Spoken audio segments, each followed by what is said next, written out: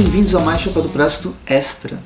É, semana passada eu fiz um Chapéu do Presto da quarta-feira, né, um, um, vídeo extra falando sobre os, o evento lá do Guia dos Quadrinhos.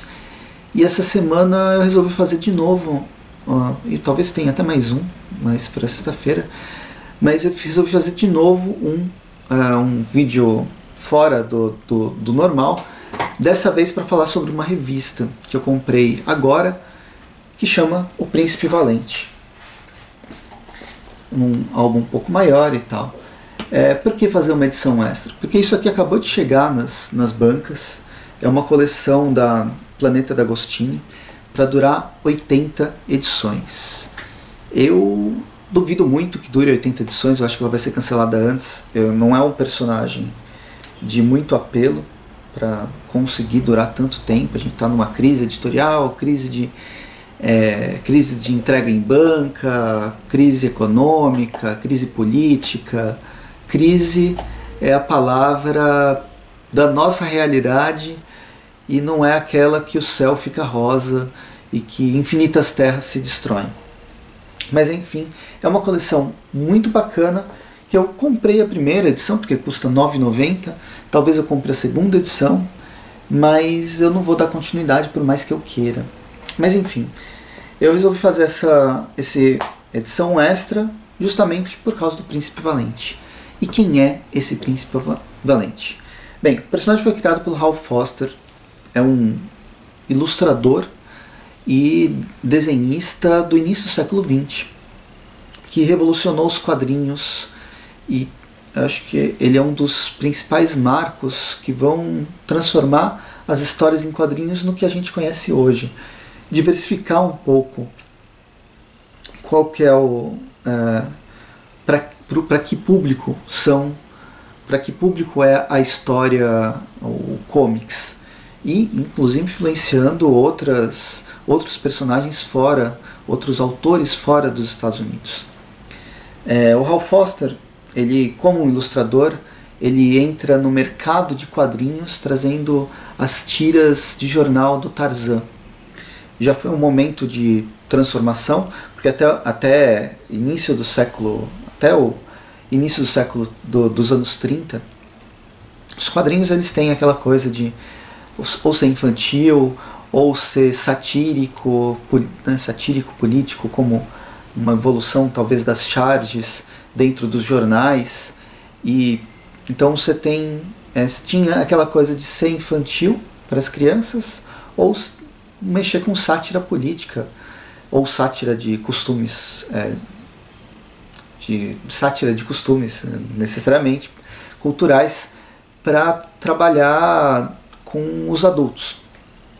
O Hal Foster, com a, pra, trazendo as histórias, é, desenhando as histórias do Tarzan, ele trouxe uma nova, uma nova possibilidade, fazer histórias de aventura para um público infanto-juvenil que não é nem criança, nem adulto, não é nem cômico, não é cômico de, nem de uma forma nem de outra, é uma história de aventura. Foi interessante para a época e com esse sucesso ele resolveu inovar de novo agora com uma história própria é, que depois vai, vai se transformar numa história mais de costumes de época, mas inicialmente era uma história de um realismo fantástico, de um personagem que vivia junto na, na corte do rei Arthur, que é o Príncipe Valente. Essa aí é uma ideia em gestação desde 1935, que finalmente foi posta em prática a partir de 37. E as edições da Planeta D'Agostini, cada edição vai corresponder a um ano de publicação do personagem. Só para vocês terem ideia, era dessa forma Vamos ver se pega aqui inteiro. Era dessa forma que era publicada as tiras de jornal. Não eram necessariamente tiras, mas uma página inteira de história do personagem a cada dia. E isso foi mais um passo para a revolução das histórias em quadrinhos, para a aceitação das histórias em quadrinhos para um público mais adulto. O Hal Foster ele tem um traço mais pautado no clássico, muito dos desenhos dele é, é um, um, realismo, ele é é um desenho que traz bastante realismo, tanto nas figuras humanas como nas figuras de paisagem. A gente tem aqui um detalhamento bastante grande do, das cenas, das pessoas, dos itens que o personagem utiliza quase como um resgate histórico de um período medieval.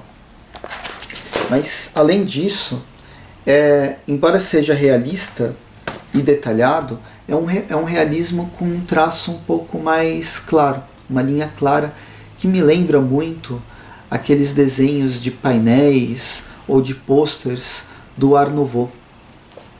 E eu acho que vale a pena vocês que estão assistindo esse vídeo irem atrás de alguns uh, de alguns posters, coloca pôster Art Nouveau é, e vocês vão ver um pouco desse traço mais, mais limpo e ao mesmo tempo extremamente detalhado, extremamente preciso, numa linha clara e num desenho clássico. Né? Não é a mesma linha clara do, do Hergé, não, não, não é isso que eu estou querendo dizer.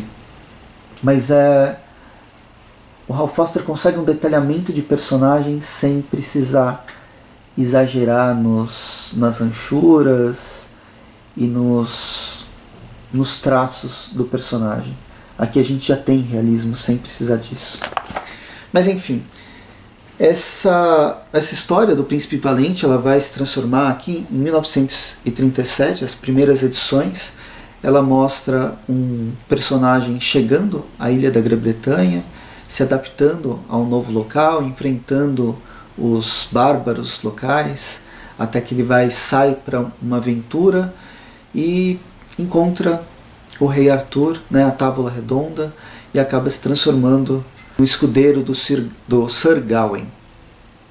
Tudo isso contado nessa primeira edição, algumas aventuras, é, é, bem, é bem interessante a forma como a, a, a história se desenvolve. Ela tem uma certa verborragia, ela tem uma certa é, descrição de cenas que são desnecessárias. Mas é, o Hal Foster ele tinha, ele sabia disso, ele tinha claro o porquê disso. Muito dos desenhos dele vai remeter a essa ilustração do início do século XX. Ele não usa balões em momento nenhum, são ilustrações com, com descrição, descrição de cena ou descrição de diálogo também. E ele fala que grande inspiração dele são as gravuras do William Hogarth do século XVIII. Então a gente tem um, esse resgate histórico até no formato de história.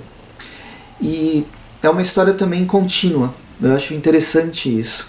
Por serem tiras e tiras grandes, eu estava esperando uma coisa mais é, fechada, cada, cada página encerrava uma história. Mas não, todas as, todas as páginas elas têm uma continuidade e de certa forma elas fecham alguns arcos de semana em semana, talvez, de mês em mês. Isso prende o leitor, prende a leitura para dar continuidade. E terminou aqui o, ano de 37 com um evento, uma aventura dele bem interessante, onde ele acaba se transformando num herói até acima do Sir Gawain e que você fica daquela, poxa, acabou aqui, eu tenho que pegar o próximo encadernado, a próxima, o próximo volume para dar continuidade nas, nas, aventuras e nessa aventura específica do, do Príncipe Valente.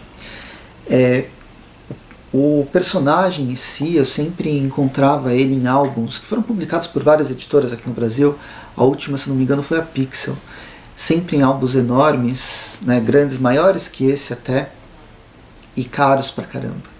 Eu sempre tive um pé atrás de comprar porque era um investimento muito grande.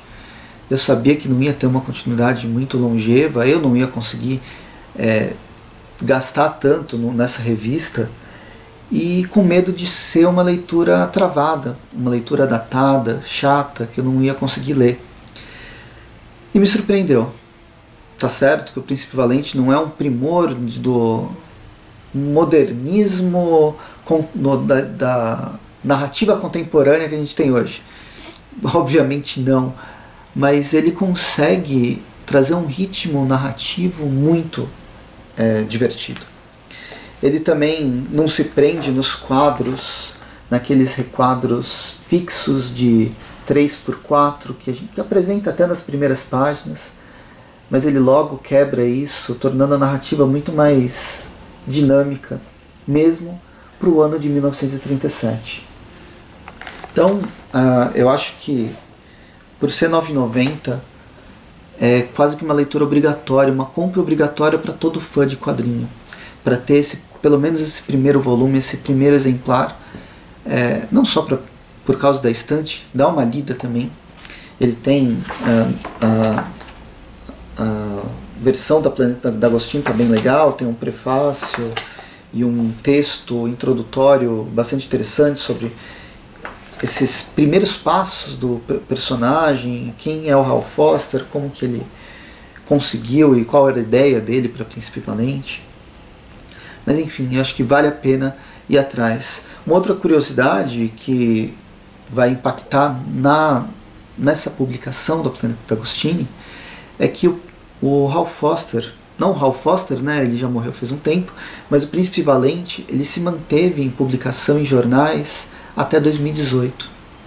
Então são ele é um personagem que tem mais de 80 anos de publicação ininterrupta em jornais.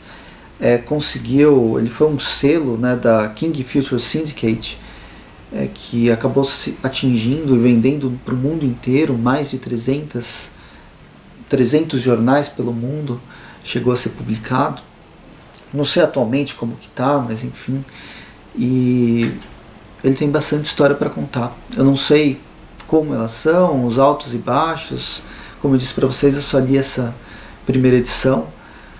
Mas, é, enfim, é uma, é uma revista bastante interessante pela curiosidade histórica e pelo formato e ela não ainda assim não é chata é uma história né, que vale a pena ir atrás e era isso que eu queria falar nesse episódio extra.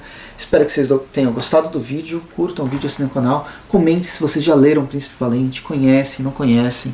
Ele foi influência para vários autores hum, do, da, dos anos dourados dos quadrinhos, dos anos da, da era de prata dos quadrinhos, dentro dos Estados Unidos, fora.